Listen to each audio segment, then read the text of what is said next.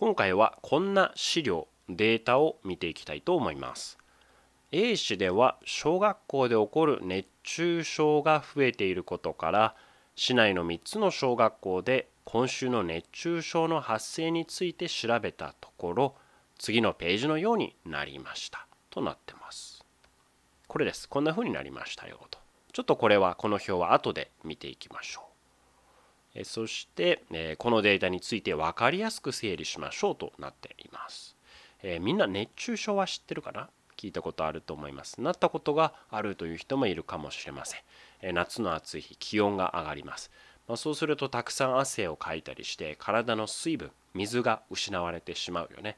そうすると頭が痛くなったり気持ち悪くなったりいろんな体調の体の問題が起きてしまいます。え中には病院に運ばれて亡くなってしまうような人も、え特に暑い日とかは、えある、まあ、そういうのが熱中症です。やっぱりこれ減らしていった方がいいのでこの A 市の中の3つの小学校で、まあ、どんなふうに熱中症が起きてるか調べたんやって、まあ、それをまとめたのがこの表になっている。というわけです。ね、それじゃあこの表どんなふうにまとめられてるんでしょうか。一番上を見ると日付と書いてます、まあ、いつ何日に熱中症が起きたかやね。そして学校名3つの小学校の名前 ABC の小学校が並んでます。そして学年は1から6年生まででね。え場所これは熱中症が発生した場所です。体育館教室校庭とか、まあ、いろんなとこが並んでるよね。そして時間休み時間や授業中放課後給食なんてのもあるよね、まあ、こういうのがバーッと並んでますよと。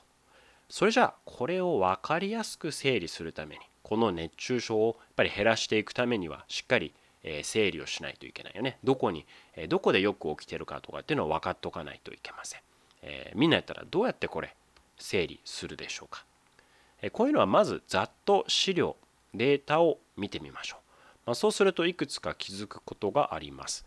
例えば、日付。7月2日がとても多くなっているよね。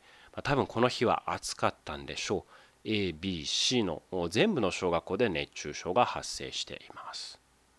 あとは、学校は結構みんなバラバラやね、起きてるところ。A が多いとか B が多いとかはあんまりなさそうです。学年は3年生が多そうやね。5年生6年生はちょっと少なくなってます体力がやっぱりあるからかな少なくなってる感じがします場所で言うと教室はやっぱりいる時間が多いので長そうやけど校庭授業中体育館授業中とかってこれ体育の授業やね、まあ、体を動かすと水分がなくなってしまうので熱中症になりやすそうです。そして時間は授業中休み時間、まあ、放課後や給食もありますよと。こういう形になってます。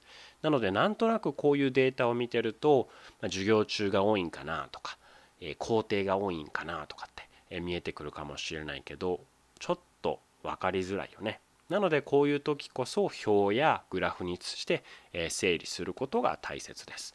そしてどういう表やグラフを作るかっていうのは自分がこうじゃないかなって思ったものを、項目に選んでみてください。例えば日付。起きてる日にすごく問題があると、どっかの日だけたくさん熱中症が起きてるとかやったら日付7月1日に何人とか7月2日に何人っていうふうにしてあげてもいいよね、まあ、でもそれは結構パッと見たらわかると思います、まあ、それよりもやっぱり時間とか場所がちょっと私は気になったのでこれをちょっとまとめてみたいなと思うんです。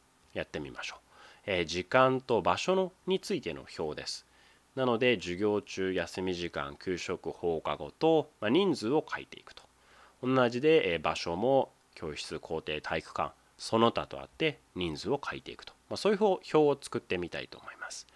まず授業中に、熱中症になった人123456789101112人やねやっぱりこれちょっと多そうです次、休み時間は1、2、3。3人だけです。休み時間は短いもんね。授業に比べると。次は給食。1、2です。これもやっぱり少ない。放課後はどうでしょう？1、2、3です。で、これの合計がいくつになってるかな？15に5を足して20になってますよと。なので、え、熱中症の半分以上が実は授業中に起きているということがこういうふうに整理をすると分かりましたそれじゃあ場所はどうでしょうか？まず教室1 2 3 4 5 6 7やね。7です。校庭1234567です。お一緒です。体育館。1234そしてその他。12まあこれはどこかな。中庭とかかもしれないね。2になりました。合計は7と7で1418、まあ、これはもちろん20になるよね。こういうふうになってます。なので教室と校庭で合わせると14に、まあ、それで、えー、半分以上を超えているというふうに分かりました、まあ、でもこれだけだと授業中気をつけましょうとか教室校庭熱中症になりやすいです。気をつけましょうって言われてもだって教室ずっといるもんね。校庭も体育の時はずっといるもんね。ちょっとどうしていいか分かんないです。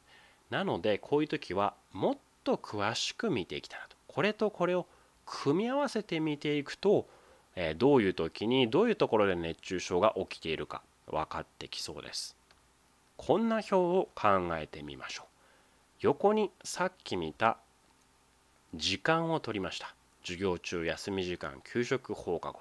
そして縦に場所を取りました。教室校庭体育館その他と。そのマスの表にしたんです。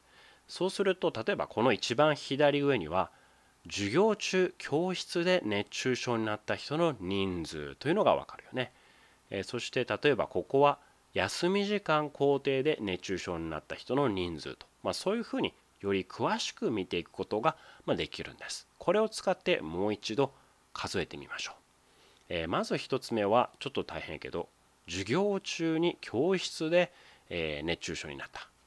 授業中教室の組み合わせです。まあ、ありました。これちょっとチェック入れていこうか。授業中教室ありました。授業中教室ありました。これで3つかな？3つです。そして次は、えっと、休み時間の教室。休み時間の教室。1 1やね。そして給食教室やね。給食教室は1、2まあ給食は教室で食べるから絶対そうなるよね。えー、放課後の教室。放課後の教室。1友達と残ってたんでしょうか。1だけです。こういうふうに整理することができます。まそうすると教室の合計は6と8でなんぼや？5で6で7か。なんだよね。これさっきの教室の合計と同じにもちろんなってるよね。横を見ると教室の合計がわかると。そういう形になってます。じゃあ今度は授業中の工程。これはきっと体育でしょ1 2 3 4 5 6これ多いね。授業中工程が6です。休み時間の工程は？休み時間の工程は？お実はこれはないと。なので0になってます。給食工程。これはないよね。